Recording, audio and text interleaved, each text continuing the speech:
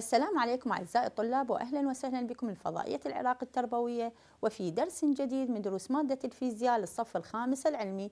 درسنا اليوم هو حل أسئلة عفوا حل مسائل الفصل الرابع الاتزان والعزوم. آه، فصل الرابع اللي تكلمنا عنه سابقا هو الاتزان والعزوم وشرحناه كله. فاليوم تعالوا ويانا أعزائي الطلاب لنحل مسائل الفصل الرابع.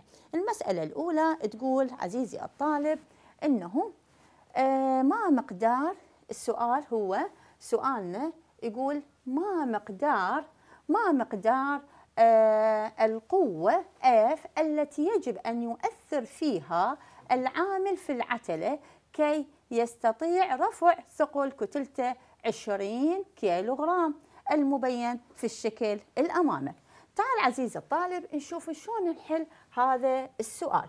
سؤالنا هو إنه نحله نطبق الشرط الثاني للاتزان. الشرط الثاني للاتزان إنه مجموع أو سميشن تاو تساوي صفر أي مجموع العزوم تساوي صفر. ثيتا هي الزاوية بين خط فعل القوة F أو الوزن والخط الواصل بين نقطة الدوران ونقطة تأثير القوة F أو الوزن. عزيزي الطالب تعال نشوف هذا الشكل الأمامك. هنا الشكل هنا هذا هو تأثير القوة F هذا الثقل اللي أريد أني أرفعه وهذه هي نقطة الارتكاز. أما هذا فيمثل لي طول العتلة. يمثل هذا طول العتلة. فنجي نحل نقول إنه سميشن تاو تساوي تاو 1 زائد تاو 2 ويساوي صفر. التاو الأول العزم الأول هو جاي من F sine ثيتا في ال L1 يعني القوة المؤثرة في sine الزاوية ثيتا في ال L1 البعد تأثير القوة عن محور أو نقطة الارتكاز. زائدا الوزن sine ثيتا L2 يساوي صفر. هنا يا عزيزي الطالب أنا وياك نعرف بأنه العزوم إذا كانت باتجاه دوران عقارب الساعة حنعوض عنها بإشارة سالبة. وإذا كانت باتجاه معاكس لدوران عقارب الساعة نعوض عنها بإشارة موجبة. فلهذا السبب عزيزي الطالب حنعوض هنا بإشارة سالبة ناقص F في 2.4 زائد 20 في 10 في L2 هنا عزيزي الطالب ليش ضربت 20 في 10 لأن مطيني هو كتلة. فلازم أضربها بالتعجيل حتى يتحول إلى وزن ونضربه في البعد L2 يساوي صفر. ننقل وحدة بجهة المجهول بجهة والمعلوم بجهة فيكون عندي 200 في 1.2 يعني هنا هذا البعد الثقل. إيش قد يبعد عن محور الدوران أو نقطة الارتكاز؟ العفو هي 1.2 يساوي 2 في 0.4 F أريد مقدار ال F أقول 200 في 1.2 على 2.4 أي يطلع الناتج 200 على 2 فيطلع لي مقدار القوة اللي يجب أن نؤثر بها هي 100 نيوتن. ننتقل وياكم عزيزي الطالب إلى السؤال الآخر. سؤالنا الآخر هو يقول صباغ للدور. هذا هنا عزيزي الطالب صباغ واقف. هنا صباغ دور يقف فوق لوح منتظم يتزن أفقيا. عزيزي الطالب من كلمة يتزن أفقيا؟ إذا هنا معناته حقق لك العفو حقق لك شرطي الاتزان أي الاتزان السكوني والاتزان الدوراني. نجي هنا نكمل السؤال كما مبين في الشكل الأمامك وهو معلق من طرفيه بحبلي قوة شد. فيها L F left و F right. يعني هذا هو الصباغ الأمامك واقف على هذا اللوح المتزن. وهذه الحبلين هاي القوة ال F left يعني القوة نحو اليسار. وهذه هو ال F right يعني القوة نحو اليمين. ومقدار كتلة الصباغ 75 كيلوغرام. هنا عزيزي الطالب أخلي ببالي أنه مطيني كتلة لازم نحولها إلى وزن طبعا نضربها في التعجيل. وكتلة اللوح 20 كيلو غرام فإذا كانت المسافة من الطرف الأيسر يعني من هذا الطرف إلى للوح موضوع فوق الصباغ هي شقد 2 متر. يعني المسافة بين هذا الطرف واقف بيها النقطة اللي واقف بيها الصباغ هي إيش قد؟ 2 متر. واللوح كله هو طوله 5 متر. شو يريد من عندي بالسؤال؟ يريد أولا مقدار القوة F left يعني القوة المؤثرة من جهة اليسار هذه القوة F left.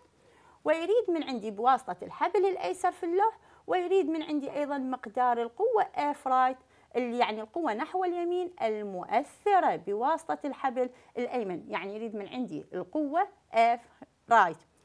شلون نحل هذا السؤال؟ إحنا من قلنا اللوح منتظم فمعناته إحنا حقق لي شرطي الاتزان اللي هو شرط الاتزان الدوراني والانتقالي. يعني summation F تساوي صفر وسميشن تاو تساوي صفر. فنيجي هنا عزيزي الطالب نقول بما ان النظام متزن أي اللوح والصباغ فيكون الجسم في حالة اتزان سكوني أي أن تطبيق شرطي الاتزان. يكون في حالة اتزان انتقالي واتزان دوراني في الوقت نفسه. نيجي أولا نحقق شرطي الاتزان. أول شرط أنه محصلة القوة الخارجية المؤثرة تساوي صفر. Summation F تساوي صفر. معناته حتكون عندي هنا نشوف الشكل اللي أمامك هذا هنا مقدار القوة F left وهنا هاي مقدار القوة F right هذا هو طول اللوح خمسة. هنا نقطة وقوف الصباغ اللي قلنا إحنا كتلته كانت 75 وهنا طبعا بما أنه اللوح متزن في موضع الصباغ فهنا بما أنه المتزن اللوح فاذا هاي نقطة اتزان اللوح. اللي هي قلنا بالمنتصف حتكون وزنها إيش قد قال لي هو كتلتها 20 فحنضربها في التعجيل حتى تصير عندي 200 نيوتن. اذا حتكون عندك محصلة القوة نحو الأعلى اللي هي هذه F left والF right تساوي محصلة القوة للأسفل اللي هي تكون وزن الصباغ زائدا وزن اللوح. يعني هسه أنا عندي كم قوة باعتبار عزيزي الطالب؟ عندي أربع قوة. قوة المؤثرة نحو اليسار القوة المؤثرة نحو اليمين وهذه يكون اتجاهها نحو الأعلى. وعندي وزن الصباغ اللي هي هذه النقطة وعندي وزن اللوح وهذه اثنيناتهم وين تكون متجهة؟ نحو الأسفل.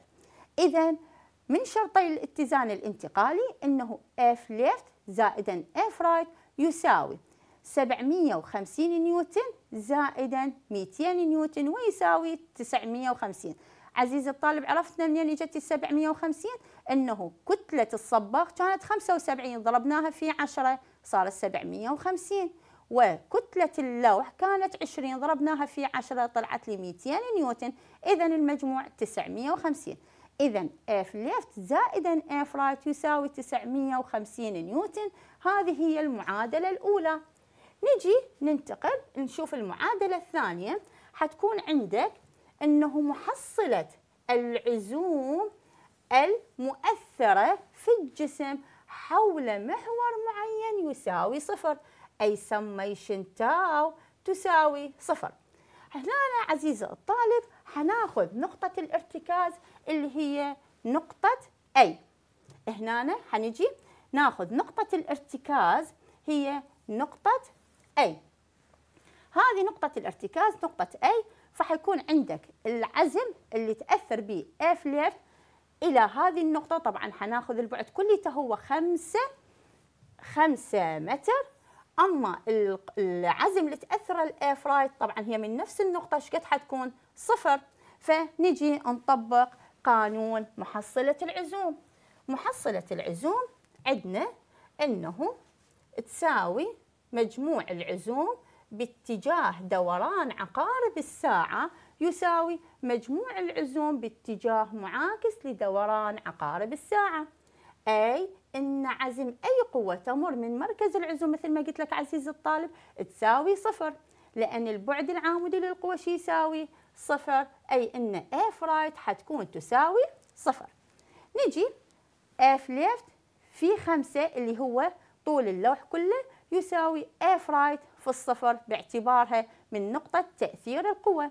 زائدا 750 في 3 اللي هو الصباغ يبعد عن هذه النقطة 3 متر زائدا 200 في 2.5 ليش أخذنا 2.5 عزيزي الطالب لأن إحنا قلنا اللوح متزن. فنقطة الات... منتظم. فلهذا السبب اللي يكون النقطة مالته وين حتكون؟ بالمنتصف. إذا هو اللوح كليته خمسة المنتصف مالته إيش قد عندي؟ هي اثنين ونص. فلهذا السبب عوضت بالبعد 2.5 نيجي هنا F left في خمسة تساوي قلنا هذا الناتج كله حيكون صفر زائدا 2250 زائدا 500 يعني ضرب 750 في 3 زائدا 200 في 2 ونص. إذا 5 F left تساوي آه 2750 إذا أريد ال F left نقسم 2750 على 5 فيطلع لي الناتج 550 نيوتن. هاي من هي القوة المؤثرة من جهة اليسار. نجي نرجع للمعادلة الأولى اللي كتبناها اللي هي محصلة القوة تساوي صفر. فحتكون عندي F left زائدا F right تساوي 950 F left إيش قد طلعناها عزيزي الطالب؟ 550 زائد F right يعني القوة المؤثرة من جهة اليمين أنا أريدها يساوي 950 إذا F right تساوي 950 ناقص 550 وتساوي 400 نيوتن. عزيزي الطالب إلى هنا نكمل وياكم درسنا لهذا اليوم وهو من حل مسائل الفصل الرابع. نلتقي وياكم في درس جديد وفي حلقة جديدة إن شاء الله.